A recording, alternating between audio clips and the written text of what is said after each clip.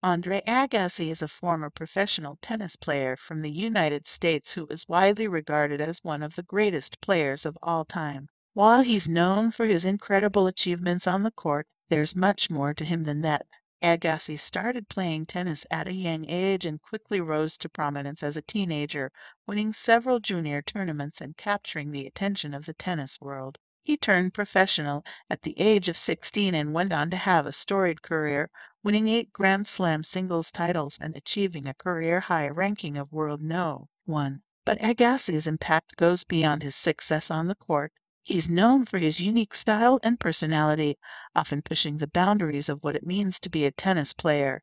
He was known for his flashy outfits and long hair, which he eventually shaved off for charity. In addition, Agassi has used his platform to give back to the community. He's been involved in several charitable causes, including the Andre Agassi Foundation for Education, which works to improve education opportunities. Beyond his tennis career, Agassi is also a dedicated family man and father. He's been married to fellow tennis player Steffi Graf since 2001 and is a father of two children. He's spoken openly about his struggles with addiction and personal challenges, demonstrating his resilience and dedication to personal growth.